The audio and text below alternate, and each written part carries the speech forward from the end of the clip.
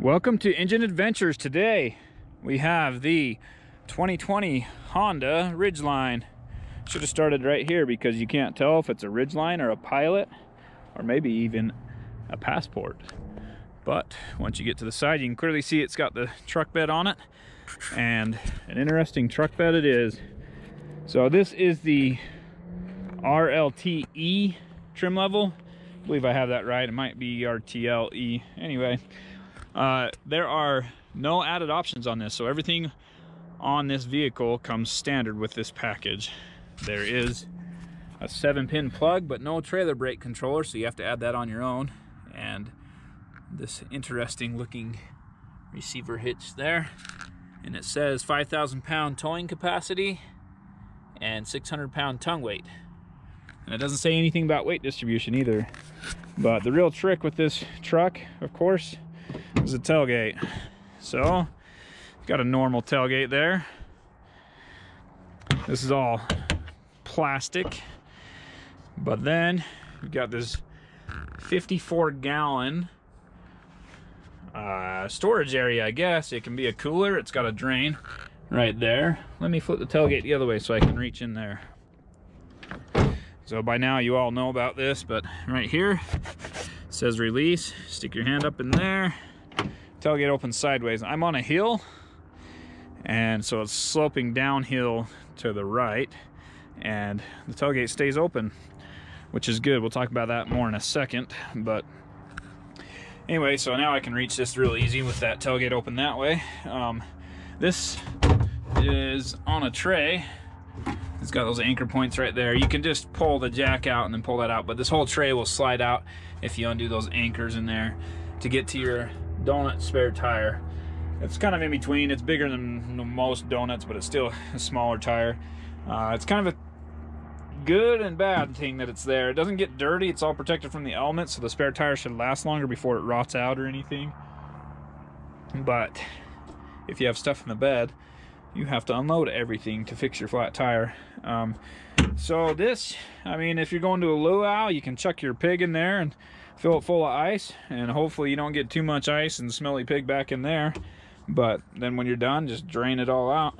Uh, great for tailgating. Most of the stuff I do we're not right next to the vehicle so it's actually better to have a cooler than this. But there is a ton of storage space there for other things. You can divide it up put some dividers in here I doesn't come in with any standard as far as I know um, but I'm sure you can buy whatever dividers in there to divide that up. Um, it also has some nice LED bed lighting and these hooks, two in each corner, the ones on the front or on the bottom and then on the wall at the top and on the back, both sides they're just on the wall. Um, I did pull a four-wheeler or throw a four-wheeler in the back of this uh, it was a Kawasaki Prairie 650, so it's about not the biggest you can get, but pretty close to the biggest four-wheeler. I know those Polarises, even the 500s, are bigger and heavier than the the other uh, competitors' bigger engined ones. Um, but it did fit. I, the wheels were about here on the tailgate, and these tie downs were anchor points were great. Had no problem securing it and keeping it in there while we transferred it where it needed to go. In here, we have a 110 volt. It says 115 volt, and uh, you can have up to 400 watts. And it says with the engine running and in park. I was trying to convince my wife to throw her pressure cooker back here, and we'll just tie it down and go for a drive somewhere and jump out and eat.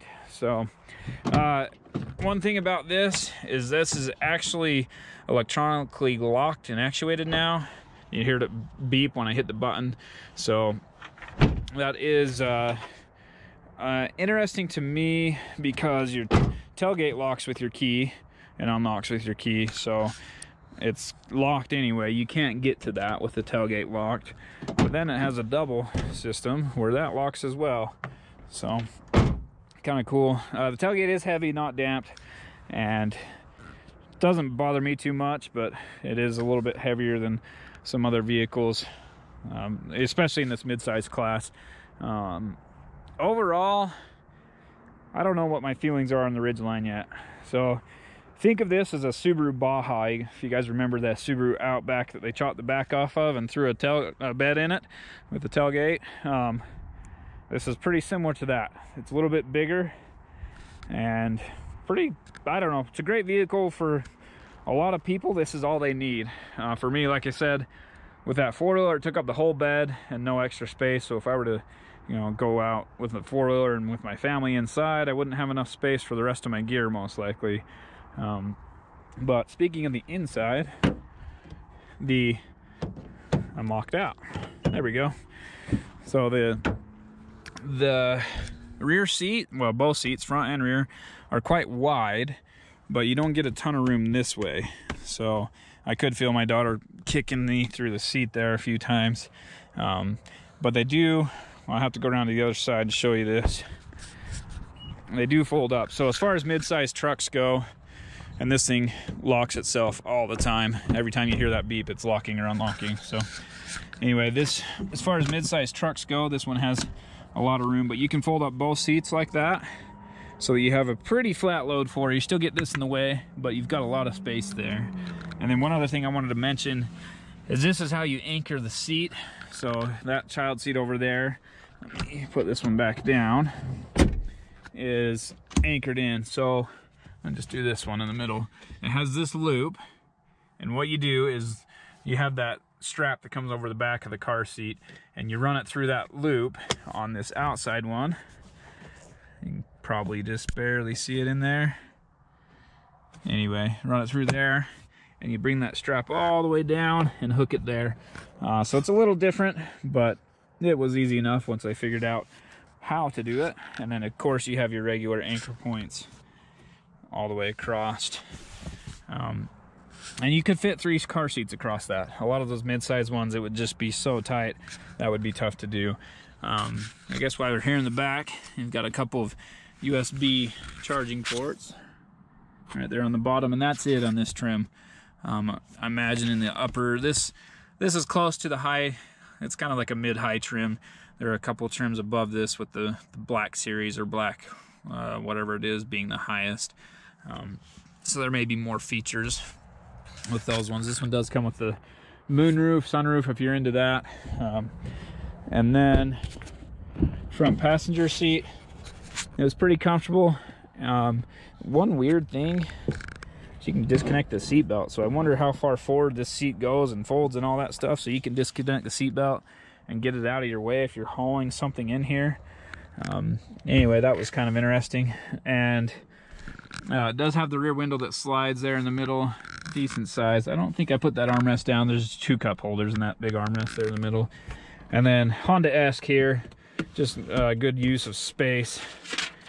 You've got little storage cubbies in here, a couple extra power outlets down there, an auxiliary input for headphone jack style input. And then up here, this one connects your phone to the infotainment system and another 12 volt power outlet. No wireless charging on this trim. Um, heated seats for the front. And let me jump in the, well, let's take a look at the engine first, and then we'll jump in the driver's seat. Right here, you can lock the trunk actually. So that the trunk is the uh, thing in the bed that you lift up and open. So it is on. So whenever you lock the truck with the keys or it locks itself, it goes ahead and locks the truck for you. So I believe they call this engine the Earth Dreams. And it's beeping at me because the headlights are on, which this does fail the fog light test. You can see the headlights and fog lights are on. Let me switch it over to the running lights right here. And it says the fog lights are on. Oh, nope, it does not. So that's just the daytime running lights. So um, but anyway, the fog lights are not on anymore, so you have to have your headlights on for the fog lights to be on, which, as you know, makes your fog lights useless. There you go. Your Honda Earth Dreams with intelligent VTEC. Uh, can't remember the horsepower. I think it's 280 off the top of my head. We'll have to get into that. I'll post it on the screen, the horsepower and torque. And it has a nine speed automatic, so a little bit better.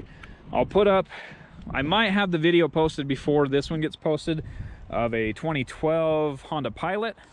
the same thing as the Ridgeline, just the SUV version, and it couldn't make it up the test hill, even with all four wheels on the ground with good traction, it just didn't have enough low end torque.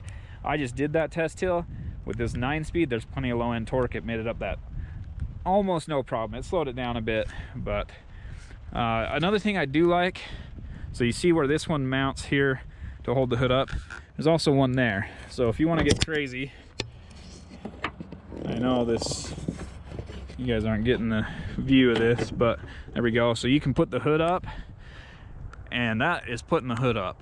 So you can get it completely out of your way, get down in here, do whatever you need to do when it's in, in that setup. It gives you tons of space to work, which is pretty cool. All right, let's see. Let's jump in the driver's seat and fire this thing up. And maybe drive it a little bit here. All right. Starting to rain, but not windy, which is good. Normally it's, well, lately it's been windy up here. So, all right. You have a heated steering wheel. If you can find the button, you can't actually see it very well when you're driving. I just saw the edge of it and realized it was there. Let me turn off the air conditioning there. And gets decent fuel economy. So I've only done a little bit of idling, but 22.4 that was uh, including a trip with the four-wheeler in the back going about 85 miles an hour over, I don't know how many miles it was, 60 miles maybe. Um, nah, something like that. Anyway, so it does get pretty good fuel economy. You can hit this button for the economy on. It just uh, makes your throttle less sensitive, makes it drive a little smoother to save you fuel plenty of buttons down here. It has the lane keep assist and the lane departure warning, the parking sensors, forward collision, traction control, cargo lights, and that's to turn on the um, inverter. That's to turn on the inverter for the uh, plug in the bed of the truck. Then your mirror controls two memory settings for the seats, and then you can lock the windows there so the kids in the back can't roll them down. Pretty basic. Fuel door, hood latch, um, sorry, I should have gone through the rest of this when I was doing the heated seats. This side on the left controls your radio and also controls the screen up there so you can push these two and it will adjust the screen up there. And that is not true because this one is adjusting up here. We'll go back to maps. But the so the bottom one must be adjusting it. Oh, I'm on the wrong side maybe. Anyway, oh, I I don't know. I don't know. We'll have to figure that out later, I guess. I know I was messing with it while I was driving, but then here's all your cruise control. Uh, down here is how you adjust those. And the, this is all you get. So this this is every screen. You have your trip meters, both A and B, uh, your compass, tire pressure, oil life, and that's it. You can also, you know, reset it and change the units if you want. Right here is also the lane keep assist but it's more aggressive. I don't know. I haven't figured everything out yet, but this actually shows it on the screen up there. You see that pop up. Um, and then you have the cruise control, and this sets your distance to the car in front of you. You see those bars changing, hopefully. I'll zoom in on it. And then um, this one turns everything on or off at the same time. And then of course your normal cruise control set and adjust the speeds there. Paddle shifters attached to the steering wheel. Um, over here, the heated seats. I think we already talked about that. I'm not sure, but heated front seats. And then it is a push button or drive-by-wire, as they call it. So park, you just push it. You have to have your foot on the brake. For reverse, you pull this back. Again, you have to have your foot on the brake. Neutral, foot on the brake, hold it down. And then same thing, you push it once for drive. Again, for sport mode auto start stop uh, this one hasn't been too bad I don't know again it's not one of those features that I really like so and then this is your terrain modes of which they're all slippery conditions so there's no like rock mode but as you can see there you got normal snow mud and sand so we'll go through all that in the off-road video um yeah then your your uh, climate control stuff there and that's about it for this vehicle. This screen, let me flip that back off. Hopefully it doesn't mess up the sound. So this screen is improved, but there's no dials. So say you're listening to the radio and you want to scroll I mean, we're on uh, XM. So if you want to scroll 100 stations away, you can go to the category and select it. Hopefully you have a preset on where you want all your stuff, but you have to just kind of go through one at a time. So it's not the worst because you can control your presets. These will go through your presets here. And if I hold it down, it'll go through them one at a time. But you do have to hold it for quite a while. But it's overall, I like it. I don't like missing the knobs. Like I'll go up here, adjust this vent, and I'll hit this with my side of my hand or something on accident. Um, anyway, it's just kind of sensitive, not my favorite thing. I don't like touchscreens a lot, as you, you probably already know. Um, I like physical buttons for everything. Of course, having the touchscreen is nice as well, where you see something and you want to click on it. Makes it easy rather than using a button to do it, but um, I kind of like both. So at least all the climate control, you have physical buttons for it. You can set your climate how you want it without having the screen to find the right screen and work through that. Um, up here, garage door openers, the lights and whatever, and then the rear window and the sunroof, which it's raining right now, so we'll keep it closed. Sunglasses, my sunglasses don't fit, but I have some new ones that I wanted to try out. So these ones are a little thinner and they do just barely fit in there. Um, but you have to put them in the right way. So I can't turn them around. I have to put them in like that. It's kind of a pain. So it's still tight even with these thin sunglasses. Go ahead and throw it in reverse. So I'll have to zoom in on this because the camera's a little far away, but you have three different camera views. This is just the regular kind of a wide angle backup view. That's the normal angle backup, and then you have a close-up on the hitch view, which is interesting in a vehicle that doesn't tow a ton, but it does have that. All right, so we didn't go over the pricing on this. Uh, like I said, there are no options. This is the Ridgeline All-Wheel Drive RTL-E. The exterior is crystal black with black interior. Uh, seems like Honda did not give us the correct Huh. Yeah, so we don't have the right Monroney. So I have no idea what this thing actually is. Um, if it is the RTL-E, the base price is 42000 with the destination of 1120 and brings you up to 43140 total for everything. And it does have 280 horsepower with the uh, VTEC and variable cylinder management, 9-speed auto, IVTM4 all-wheel drive, heavy-duty automatic transmission cooler, and it is a unibody construction, but it has a boxed frame as well, closed box frame. Uh, four-wheel independent suspension, electric power steering, four-wheel disc brakes, uh, plenty of safety features. We'll go over some of that in our drive portion of it, but I mean, all this stuff is standard on it. Driver 10-way power seat, heated front seats, uh, this infotainment system. It all is standard. Um, I imagine that it's pretty close to uh, whatever that Monroney is. Is pretty close to what this vehicle is. Can't guarantee that. I'll have to look into it a little more, and if I find a different price, I'll go ahead and put it up on the screen for you now.